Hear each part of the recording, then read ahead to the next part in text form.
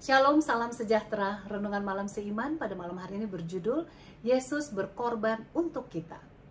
Dan sesudah itu yang mengucapkan syukur atasnya, ia memecah-mecahkan dan berkata, inilah tubuhku yang diserahkan bagi kamu.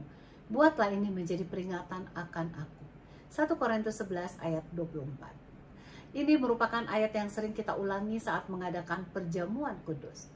Roti yang dipecah-pecahkan merupakan lambang yang maha penting dalam rencana keselamatan yang diberikan pada akhir pelayanan Yesus. Kita tidak dapat membayangkan pikiran yang bergejolak dalam pikiran murid-murid Yesus.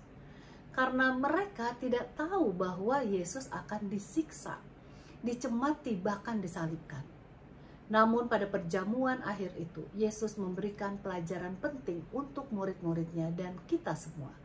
Bahwa Yesus telah dicari-cari, disiksa untuk menyelamatkan kita Yesus menggunakan kesempatan ini untuk memulai satu upacara yang penting, yakni perjamuan kudus, agar kita dapat diingatkan akan pengorbanan Yesus tersebut bagi kita semua.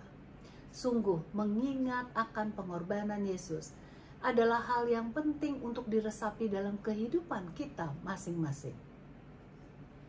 Tanpa pengorbanan Yesus, tidak ada keselamatan. Kita tidak akan bertumbuh tanpa Yesus segala penurutan adalah hampa tanpa Yesus. Tidak ada kebahagiaan sejati, sejahtera, atau sukacita.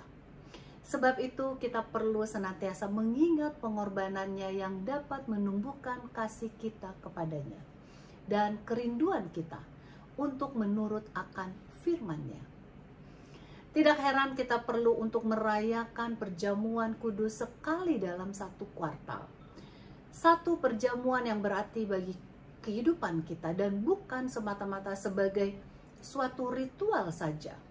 Ini justru merupakan suatu perjamuan yang memberikan kepada kita pertumbuhan rohani dengan kuasa Roh Kudus. Marilah kita selalu mengambil waktu untuk memilih memikirkan pengorbanannya. Lebih sering kita pikirkan pengorbanannya, maka akan lebih baik bagi pertumbuhan kerohanian kita sehingga benar-benar kita dapat memantulkan tabiat Kristus di mana pun kita berada. Kiranya Tuhan memberkati.